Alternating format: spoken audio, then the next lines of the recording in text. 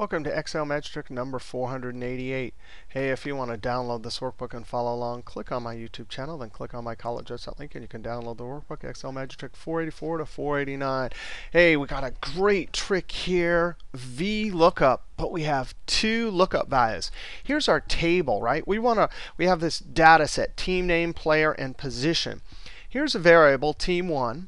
And down here is another variable, third base. How could we use a lookup that says go look up team 1 in this column and third base in this column and give me that name? Well, there's lots of ways to do this, but one simple way Right, so what we want here is we want that, Clayton Maines, right? And so first base right there, we'd want this Ted um, Bartow. Uh, lots of ways to do this, but one um, real straightforward, simple way is to add a separate column. Because in essence, the problem is with lookup, when you have duplicates, we have lots of duplicates, right? Well, if we can add a separate column and join team 1 with uh, first base. Now, as long as there's no team 1 first base duplicates, which there aren't in this set, once you have duplicates that you can't you can't somehow create a unique a column with a unique identifier, then you have to switch to you know a big array formula and and return multiple items for each first base team one. But that's not this case. Uh, so we're going to create this separate new column, and I'm going to call this unique. Just unique is fine. I'm actually going to highlight this whole column here, Control Shift down arrow. Control Shift down arrow. And I'm going to go to Home and get that uh, Format Painter. Boop, that copy is just formatted. And I'm going to click in so that whole column is uh, now formatted like that. I'm going to go up here and add some, just so we're consistent, I'm adding some fill. So all, all the spreadsheets I do usually have that color for where formulas are. Uh, and this data, this helps here. I would do this also because this is raw data. This is a formula. Here's how you create a unique identifier. Equals equal sign, and then you click on this uh, cell right here, and ampersand, which is Shift 7, to join. That means we'll get two separate things from those two cells. They will be joined together. They're both relative cell references. So when I Control Enter and double click and send it down, now we have a double click here too. Now we have a unique identifier. Uh, and now we can just use VLOOKUP or whatever lookup function you want. You can see down here for team one. Oh, yeah, team one third base. There it is, team one third, third base. Now, if this is confusing, which it is sometime, why don't we add a dash here? So here we're joining two things. One, two, but we want a third things. Ampersand in quotes dash end double quotes ampersand. Now we're joining three things, so boom, two ampersands. Sands. Control Enter, double click and send it down. All right, so that's a little bit easier to understand.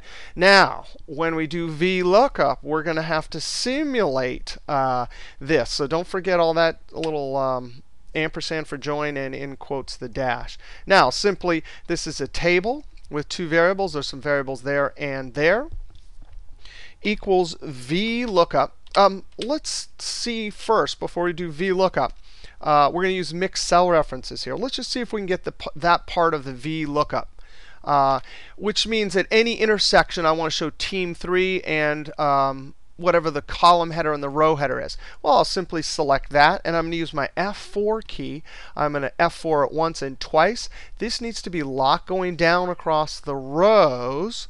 Um, so it's locked on team, but when it goes over to here, that G will move to an H. So dollar sign and only in front of the row reference. Ampersand, and then we want to do our double quotes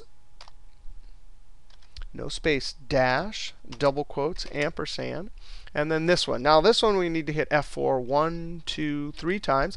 Column is locked, so when we go across the columns, it's locked on the F column. But when we move down, it moves to the next particular player position.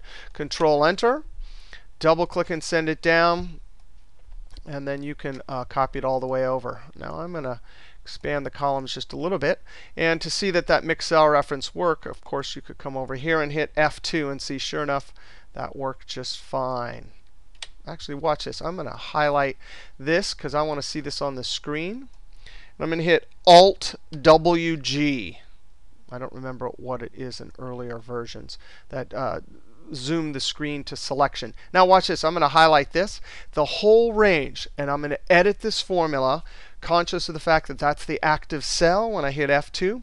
That is going to be our uh, lookup value. So I'm going to uh, click right after the e equal sign and type VL tab in 2007 and 10, or VLOOKUP open parentheses. That's the lookup value. We come over here, comma, the table array. Ah, we have to scroll over here. There's our first column. I highlight the uh, first row there without the field names. Control Shift down arrow. F4 to lock it in all directions. That's our table array. The, this value will uh, look through the first column when it finds a match. Then it will go over to the third column here, 1, 2, 3, and select that. So when I type comma, I typed a period instead, comma. Now the column index, it's going to be the third, because the um, thing we're returning is from the third column, comma, and do we want true um, exact match or approximate? We want exact match here. I'm typing a 0, not false, 0 close parentheses. Now, I've edited this formula. I want to repopulate all of the cells, so I hold Control and tap Enter. Now, what in the world is going on there? We have some NA. Let's hit, uh, let's go down here, say, and hit F2. Yeah, look at that. Um, it's got the wrong table. So I'm going to hit Escape, highlight the whole range, and I'm going to edit it right there, F2. Oh, when I hit F2 earlier, I'm F4, I must not have uh, done it correctly. Let's highlight that because it's not the right table and get the right table. I'm going to scroll over, click in the uh, top row there. Let's try this again. Control Shift down arrow, and then F4 to lock it in all directions. There we go. Nothing like uh, an error and being able to edit it. Now, we've uh, have the correct formula. So to populate all the cells, I hold Control and tap Enter. Ah, but there's an NA because some of the positions are uh, not filled. I'm going to click down here and hit the F2, um, F2 key to edit. It's got the right. I'm looking all over here. It looks got all the right. Uh, team one second base. Team one second base. So we got a. Uh, let's right click. We're going to sort this. I'm going to right click this. The only reason why we can sort it is because we have our uh, field names at the top. Records are in rows. There's no blanks anywhere. So I'm going to right click uh, the field I want to sort. Right click sort. In earlier versions, you have to find the A to Z button on the uh, toolbar. Okay, and is there a team one second base? Team one second base. There sure is. So there is a problem here. Team 1, second base. Um, let's uh, look here because it, it says it here. I, um, I don't see a space there. I'm checking for spaces or something like that. I don't see that problem either. Okay, let's do this. Let's click in this cell and let's uh, run Formula Evaluator because I have no idea what's causing that NA. We go to Formula, Define, uh, Formula Auditing, Evaluate Formula. The keyboard shortcut that works in all versions is Alt T U F. I always remember because it's tough. Alt tough. I'm going to click Evaluate, Evaluate, Evaluate evaluate. It looks like I don't see any spaces. Then I'm going to click uh, Team 2. Oh, it's Team 2 second base. Alt TUF. Let's go check if there's an Team 2 second base. There sure is. Let's scroll over here. Alt TUF. And so it says it's not available. Um, and we have the right table. And it's looking at the first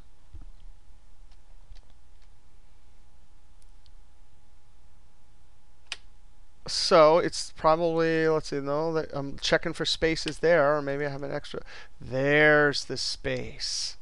There's the space. I knew it was somewhere because uh, we couldn't see it. So watch this. I want to get rid of that space. Boy, is that tricky. Backspace. And when I hit enter, it uh, returns everything. So that was a good lesson in how to track down a problem. Uh, first, we sorted and visually saw was there a uh, team one second base? There was. Was there a team two second? There was. So we uh, and we checked for spaces here, right? Uh, and then we ran formula evaluator. Uh, and when that gave us an NA, then it wasn't bad data over there. So then we looked at some bad some data here, and sure enough, there was a space. That one, team four first base, team four, team four. There is no team four first base, so that should be that should be given an NA. Now, if you wanted to get rid of that NA, um, you could leave it like that, but I'm not going to. I'm going to hit F2. In um, 2000 and uh, 3 and earlier, you'd have to copy that and then type if and then is error. Not if error, is error. Uh, this one right here. You say, is that an error? And you have to put that whole formula in parentheses, right? So if, and then this is an is error that delivers a true or false, then comma, the value if true, well, we're going to put a blank because that is an error, comma, otherwise the value of false, and then you have to paste that. So the bad thing about earlier versions is you, you had to list the formula twice and it had to calculate twice. I'm going to populate all of this, Control Enter. I'm going to use this little uh, format painter and come down. Ooh, that won't work. Uh, so I'll just show you in uh, Control Z, Z, Control Y is redo. I'm going to go ahead and show you how to fix it in 2007 and 10 if error. If error. So you only have to list it once. It only gets calculated once, which helps with big spreadsheets, comma, and if that is an error, what do you want to put? Double quote. Control Enter. Double click and oh, I forgot to highlight everything and uh, populate it with Control Enter. But sure enough, now that works. Boy, that was a lot of stuff in this video, but um, lots of good stuff, hopefully. All right, we'll see you next video.